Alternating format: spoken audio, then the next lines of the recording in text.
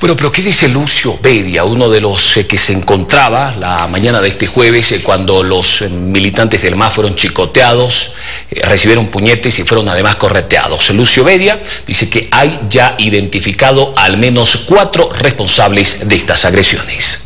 Bueno, este, nosotros fuimos a dar una conferencia de prensa en forma pasiva, no haciendo uso de nuestros derechos constitucionales, ¿no? el derecho a la democracia, las cuales nosotros después de dar conferencia de prensa salíamos y encontramos con un grupo de personas del 21F, estos señores de plataforma, ¿no? de las cuales empezaron a insultarnos, a gritarnos, ¿no? entonces, y a provocarnos.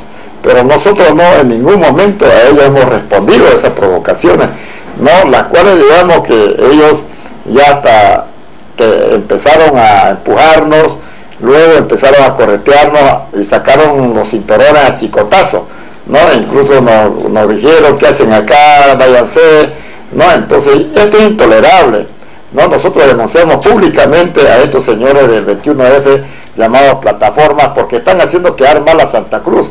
Entonces nosotros denunciamos públicamente, lamentablemente, que estas personas están buscando no solamente hacer su show, querer enfrentar y provocar, bueno, confrontarnos entre cruceños. Nosotros denunciamos públicamente, hay personas que han sido agredidas a cinturonazo, a mí me han tirado puñetazos en la espalda, pero no importa, el pueblo les va a juzgar, nosotros vamos a aceptar la denuncia correspondiente contra estas cuatro personas que ya lo tenemos identificado, quienes ellos incitaron a la violencia, al enfrentamiento y a la provocación.